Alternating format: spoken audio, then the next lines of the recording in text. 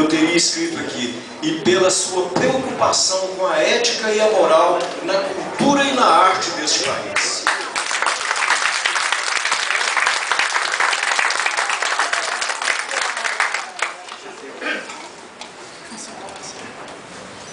Bem, chegou a hora do poeta, escritor falar. Eu sou mais é de escrever mesmo.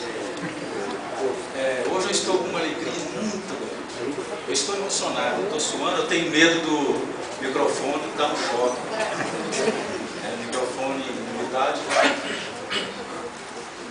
Mas hoje, coincidentemente, é dia da empregada doméstica e do sacerdote. E eu acho que eu sou um pouco empregada doméstica. Eu estou minha casa, meu coração, todos os dias, para poesia, novas ideias entrar. Porque é a minha essência. Eu não consigo viver sem escrever. Mesmo se eu quisesse limitar, igualzinho no livro, eu só escrevo para editar. Quando eu não estiver nesse mundo, ninguém vai encontrar uma coisa minha na gaveta preparado para o dia seguinte. Eu só escrevo para editar. Eu tenho muita pena de deixar poema na gaveta. Porque é o, é o lugar que o poeta mais deixa os seus poemas, porque nós não temos é, nenhum incentivo para a cultura. Nada, nada. Você tem que levar, fazer a coisa praticamente sozinho. É no sufoco. É carregar livro no ombro para dentro de casa. Hoje eu tenho que agradecer aqui aos meus patrocinadores, o meu irmão Marcinho, a minha filha Amanda, o meu pai José Carlos Montijo, a minha mãe que não está mais aqui, mas porque nós vendemos um sítio, eu tinha dinheiro para colocar neste livro, e ao, e ao senhor Olívio Santos, que não é uma pessoa de posse, mas gosta da literatura.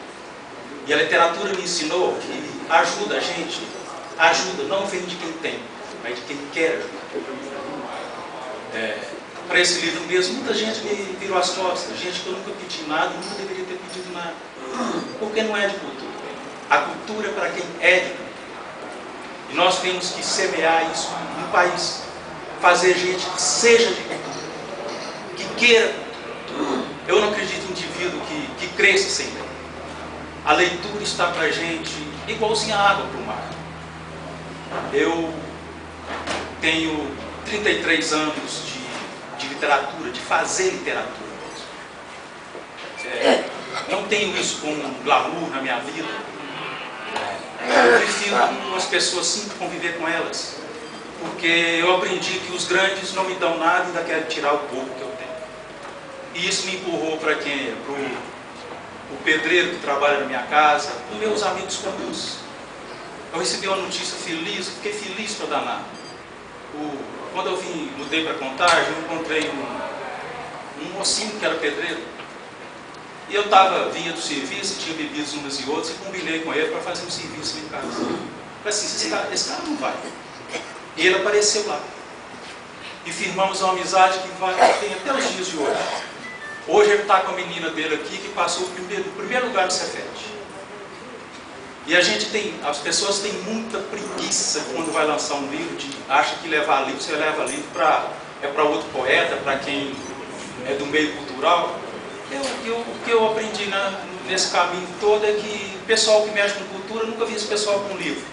Eu vejo eles com projeto e mamando nas tetas do governo. Nunca vi nada deles, nunca tive nada deles. Hoje eu vejo o meu trabalho caminhando, que vai tão longe já. Eu nunca esperei que isso fosse acontecer. E eu olho e falo assim, meu Deus, isso sou eu. E eu comecei, eu, eu sempre falo assim, ah, vou fazer outro livro daqui cinco anos. E lá estou eu, já fiz 20 poemas novos com outro livro.